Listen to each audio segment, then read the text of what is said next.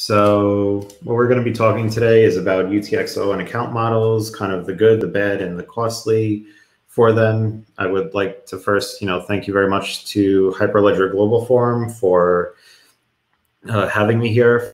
Talk about this very interesting technical topic that applies, I think, really well to support both models, but we'll talk about that in a little bit. And yeah, I myself am a developer advocate. I work on a programming language and tech stack called DAML. Uh, but when I give talks, I tend to like to give talks that are more about simply the tech. Uh, I think DAML is a great piece of tech, but I really like think that it's important to break down these different components of the technology so we can really understand them and what the good, bad, and and, and cost trade-offs are on them. And like I said too, if you ask a question in the Q and A or in the chat, and you're one of the first five, uh, you can see in the chat there's an email address there. Just shoot me an email, and I'll, I'll send you a T-shirt if you want one. So first, we're going to be painting with very broad strokes. Uh, even a single real-world implementation of a UTXO or account model requires a lot of specificity and would take longer than than the time we have allotted here to go over. So just keep that in mind that I'm talking about how these systems generally behave, and there will always be specific examples of them that will be different in different ways. Uh, and so in the first half, I'll be talking about the general, and then if we have time in the second half, I will be going into actually some real life examples that do get much more into the specificity of things. So first, you know, what are UTXOs and accounts? Uh, both of them are any system of accounting or estate management. So that in and of that, they are the same. They are systems to uh, manage some some semblance of accounting or state. And in a UTXO model, basically every previous entry consume is consumed by a new entry such that the prior entries can't be consumed anymore. So for example, if I had a dollar and I gave it to you, I couldn't spend that dollar anymore, but now you could spend that dollar. That's kind of how UTXOs work compared to the, the real world. And in accounts, uh, there's perpetually existing entries that can be updated and accessed again in the future. For example, that would be like a credit card. If I gave you my credit card number, you could charge it, and then uh, an account's balance would update on my end, and I could actually go and use that same number again somewhere else. Uh, so accounts sometimes fit a little more closely to how we model and conceive of the world, but also sometimes that could be much too uh, kind of there. That can also be a disadvantage in some ways. But we'll talk about that in a little bit. So first, it helps to kind of cement ourselves in real world examples of UTXO and account models. There's a real world equivalents of both that have existed for a really long time. Uh, UTXOs largely exist in the form of divisible and fungible bearer instruments. So that would be dollars and coins and gold and all that fun stuff. And accounts exist really in various forms of ledgers uh, that involve, you know, single and double entry bookkeeping. That could be debt IOUs, bank deposits, and these very interesting things called bullae, which are very early forms of double entry accounting uh, that I think are interesting because people were actually able to hold them. So what they would do is they would take these little stones here, press them into the outside of it, into this piece of clay, and then put them inside the piece of clay and seal it up and let it dry. And then you can make sure that people couldn't modify the outside of it uh, to to have a different value than what the inside of it said. And that's a really interesting piece of early technology that I think that I think is quite cool. But yeah, in the generally when we think of UTXOs and account models too in the in the real world and meat space, uh, you know, it largely comes along with money. But when these things are brought into the digital world, they don't only apply to money. They also can apply to other ideas. Uh, you know, you can have purely digital non-monetary accounts on social media, email, software subscriptions, different service providers, providing all sorts of services uh, that essentially use these types of models in different ways. So now we'll talk about blockchains, our favorite. So there's some technical examples of UTXO and account models. Uh, you'll notice Fabric's actually on both of these, but when we think of them largely probably the most common popular ones on the UTXO side is, is Bitcoin and on the account side is Ethereum. And we'll go into some part of the reasons why those choices were made in a little bit. But then, you know, we have others, for example, I, Daml uh, runs entirely on UTXOs and a slightly different model. But like I said before, you know, there's there's too much specificity to go into into that. And then same for Corda, largely UTXOs, but again, there's some specificity there that I'm going to simply gloss over. Uh, and then also, you know, you have Besu on the account side, which is another Ethereum derived derived option. And then uh, Fabric actually does both. And that's because Fabric really has this general key store where you can commit any data you want and and read it uh, later. So those are the various technical examples of UTXO and account models that you can kind of think about as we go through the rest of this. And yeah, so in more in more specific ways now we can talk about kind of what's good about these models and what's bad about these models. So on the UTXO side, we tend to have uh, much more privacy by default. I'll actually show that an example in a little bit because UT because there's no there's no notion of accounts. You don't have so many connections between all the different going ons on the network. Uh, because there's less connections, you can actually prune the state more easily. And because every UTXO depends on previous ones and they can't access arbitrary state, uh, that removes large classes of bugs, which hopefully, if we have time, I can demonstrate for you. Also, every participant only needs to know about the UTXOs that they're involved with in order to use the system. This this contrasts with accounts where accounts largely confer also having rich state access. I presume you could have a model where there are accounts, but they don't have rich state. I've just never seen one in the wild. Um, but essentially, with that, that means that you know you only need to share the parts of the UTXO set that are important to you and relevant to you. And if something's not relevant to you, if say it was between two other people, you wouldn't uh, have have to have to involve yourself with that. And you also get much more parallelizable operations, which basically means uh, when you have your your UTXOs, if two of them aren't related, you can execute both of them at the same exact time, and it's not going to matter. Some of the bads, though, are that you have constant contention in a UTXO type system. You know, if two transactions simultaneously use the same previously existing input, uh, then they're going to conflict and you're going to have to pick which one is the right one. And that can sometimes lead to un unintended effects or unexpected unexpected things, uh, some race conditions. But the nice thing is that the race conditions never propagate. They kind of just, one of them will come to a halt. And it also requires, you know, learning a new way to reason about and structure your programs. So that I think is probably one of the biggest negatives of a UTXO model is that it's very much different from the way we normally model and think about things in our real lives. Even though we have lots of experience with uh, UTXOs in, in real life with things like cash, uh, we don't really reason about the world in that way. And sometimes and often you get larger transaction sizes. Again implementation specific not going to go into that account models uh, tend to have uh, smaller transaction sizes and theoretically less storage because you have to keep around less data. Again implementation specific. And you know they allow for very trivial arbitrary state access which is great when you're building very complex applications or at least uh, previously seemed to be the way to do it, but now we're we're learning that really you don't need account models in order to have uh, a, a very rich functional application that that accomplishes real world problems.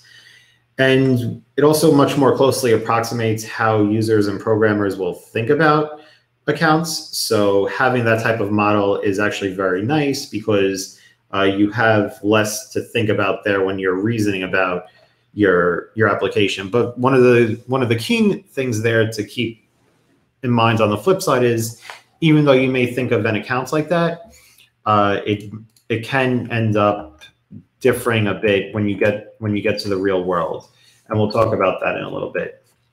Also, uh, you know, they're a little less amenable to state pruning here, and the arbitrary state access uh, allows an opportunity for much more bugs and exploits. I promise this is the most text-filled slide here, but I had didn't have a very good way to present it otherwise. Uh, you know, and you get prone to reordering bugs, and you have less privacy than UTXOs.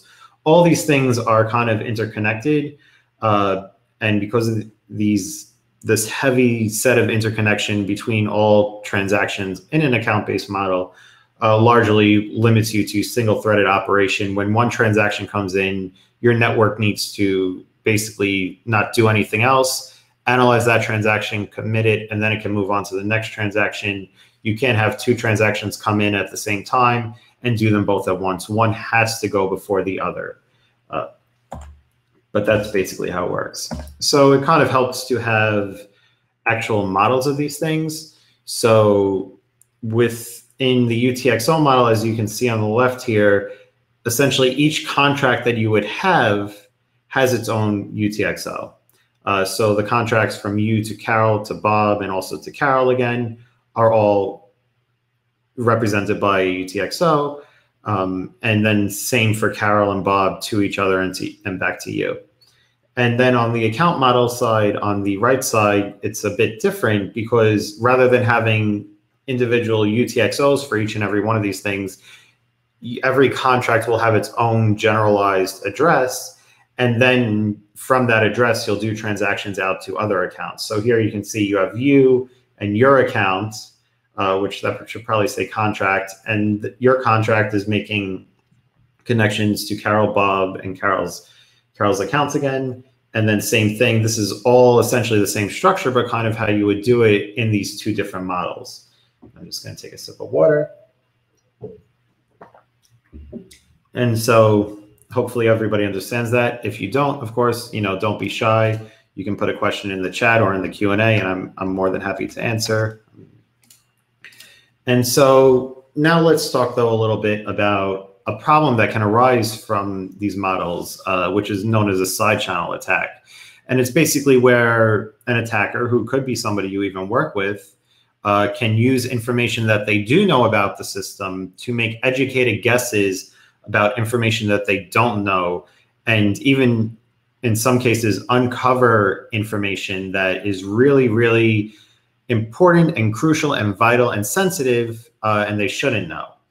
And you see side channel attacks actually a lot in the real world too. Uh, in, in, certain instances, uh, you might have heard like them happening on hosting providers where two people are running basically different programs on the same computer or same machine.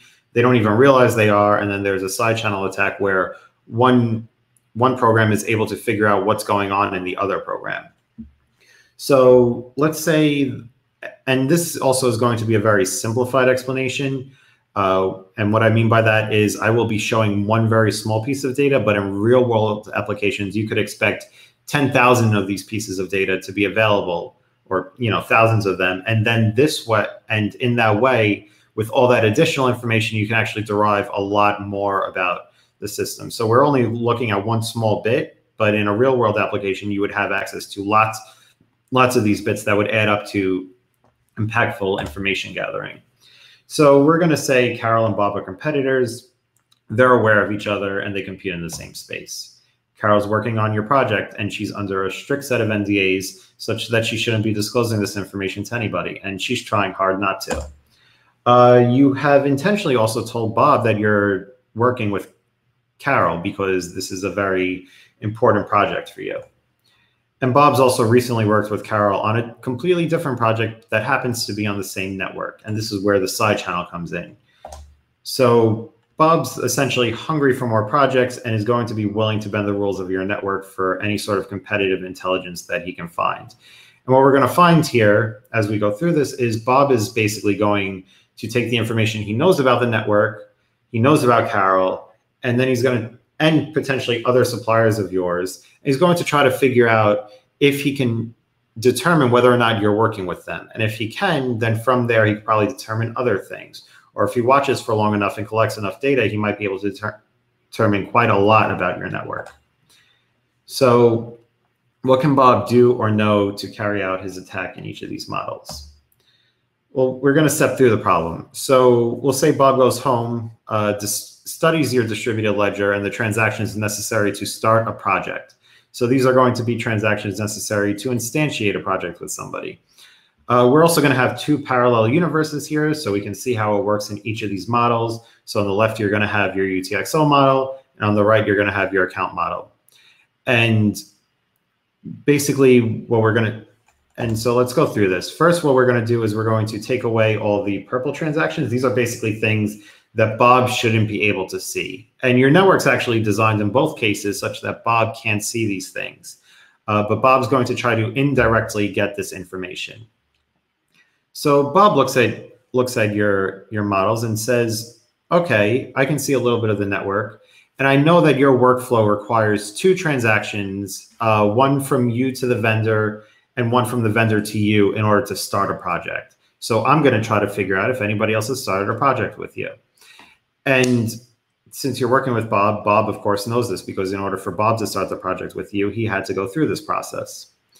And so Bob says, well, if I make one, one transaction with you uh, to start the project, and simultaneously around the same time make another transaction with Carol, maybe I can figure out if there's a bit of data between these two to determine that there's actually transactions going from you to Carol and Carol to you. So Bob tries to connect these things, but quickly finds out, uh, tries to determine this purple thing here, quickly finds out that the connection doesn't exist because there's no relationship between these two UTXOs. They don't depend on each other. Uh, the one from you to Carol isn't visible to Bob in any way because no information leaks through. And we have a question here in Q&A really quick.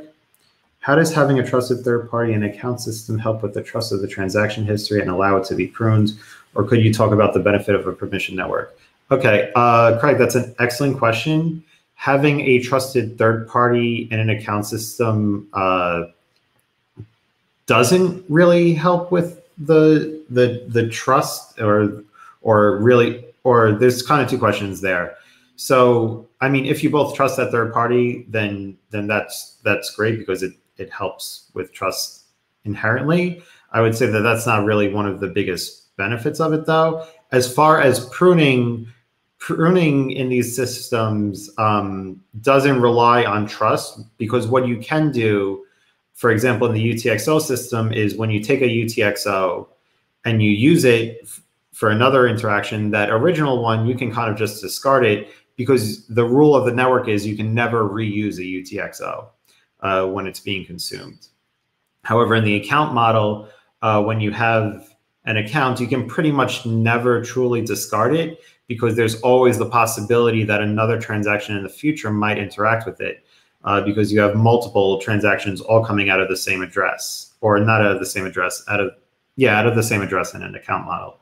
Uh, so that's kind of the difference there, if, if that answers your question, in that um, pruning is possible in both, but in one, in the UTXO model, you can de facto dis discard old parts of transactions when they're consumed in new ones. Whereas in the account model, you can't, and you have to be a lot more careful and plan actually for these things to be discarded because there's always a possibility that in the future, uh, like your account on the right, under the account model transaction two, there's always a possibility that there might be an expected transaction three or a transaction 1000 uh, way down the line. And so that's kind of the, the difference there. Okay, so now we're gonna head back over. But now in the account model, uh, things are a bit different. Oh, Todd's asking a question. How do you know if a UTXO isn't being reused if you've pruned it? Um, that's a great question. I I don't know the exact answer to that. I, I would like to get back to you on it.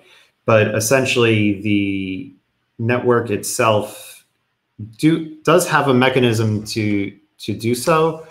Uh, I would say, oh, you know what? What no? What would happen is if you're up to date with the network and you're pruning everything, uh, if a transaction comes in trying to use a UTXO that you don't have in your active set of UTXOs, then you know that it's either an invalid UTXO because it never existed or it was pruned at some point in the past. In either case, the rule is such that uh, I I have the full set of UTXOs that I that I know of that I should be aware of, and therefore, if it's not in my set of UTXOs, it's not a valid transaction. That's kind of how you would solve that. So on the account side, uh, we have Bob just basically goes and does the same thing, creates a transaction with you, and goes and creates a transaction with Carol. And now Bob sees something very interesting because in an account model, in order to keep things well ordered and to make sure that transactions aren't rebroadcast because you wouldn't want the same transaction to occur twice, you need to include something called a nonce, which is a, an identifier number that makes that transaction unique uh, so that once an account is using, say, transaction four or transaction 90, as you can see on the right, uh, we're not going to rebroadcast transaction four and have the same thing happen again because that could lead to lots of bad things, lots of bad outcomes. So then Bob can, though, take this information and make a guess and say, well, I see transaction four with your account and I see transaction 90 with Carol's account. I can't see what you and Carol are doing, but I could take a guess that since I broadcast both of these things at the same time or a very similar time, uh, perhaps there is another account here, one for transaction three from you to Carol, and one that's transaction 89 from Carol to you. Bob doesn't know this for sure. But with this bit of information and with additional information, Bob can keep guessing at this and kind of say, oh, well, it looks like these things uh, might be related. And so that's basically how it works in an abstract way. But now we're going to change gears a bit and actually look at how updates happen uh, on an Ethereum-based network, which is an account model, and a DAML-based network, which is a UTXO model. Again, there will be some specificity here that is kind of glossed over uh, for the sake of simplicity, but in general, this is how it works. And what we're going to be looking at is an attack called reentrancy, which is somewhat related to also kind of like out of order execution, uh, and a lot of other things where things execute at times where you don't expect them to. And that can lead to a variety of problems. So on Ethereum and in DAML, we're going to have kind of nearly identical contracts uh, where, and we're going to have functions basically that allow somebody to propose that they owe somebody else a beer, and then also for that recip for for the recipient to accept it. Uh, and so what we can do here is in the Obeer side, uh, we'll basically say, okay, well, me as the sender, sender as message.sender here, I'm going to go ahead and offer a proposal to the recipient saying that I owe them a beer. And then if they accept it, and also during that, I'm also going to keep track of my beer, the beers that I currently own and we're going to deduct one from it so that this way we have a way to stop this function in case it runs away from us. Uh, so we can't actually owe more than, than we actually have. And then on the accept beer side, the giver uh, can then, the recipient can then go ahead and say, okay, well, yeah, I'll, I'll accept the beer and I'll mark it. And then I'll also make sure uh, to debit one from the proposal. This is a really crucial line too, because we wouldn't want the proposal to happen multiple times over and over again. Uh, and then we have the state that we're keeping track of, which is the beers owed. And at the end, it's going to be that Alice owes Bob one beer. And so one thing to know here too is that Bob also knows how many beers uh, Alice actually owns because he has to by the design of this contract. This could actually be left out, but as we'll see in a in a moment, it actually stops the bug from running away even further. So it's actually kind of good to track additional states sometimes in account-based models. Uh, even though it leaks information, um, it sometimes is can be beneficial. And so here what will happen is uh, we'll go through and Alice will offer to owe Bob a beer, say, Bob, did Alice a favor. She says, Bob, I owe you a beer. Bob says, That's great. I want you to owe me 10 beers. So what Bob does is Bob comes through, looks at these functions and says, Oh, accept beer here does this thing where it it broadcasts an event and says, Oh, um, the the message that sender uh, has sent a beer, has given a beer to the giver, uh, and Bob actually as can go ahead and intercept this. And when he does, essentially, accept beer executes once, it gets halfway through the execution, and then Bob goes ahead and executes accept beer again.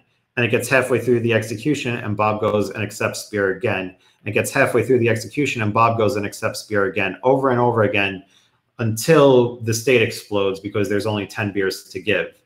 Uh, so what will happen is Bob might uh, send this 10 times because he knows there's there's 10 beers to hit, or might send it a thousand times, in which case there's another little circuit breaker in this that that helps stop this from going too far. But what'll happen is none of these transactions will resolve. They'll keep stacking on top of each other, making it such that this beer's O line keeps incrementing. And then eventually, uh, Bob stops sending in transactions so they all they all complete.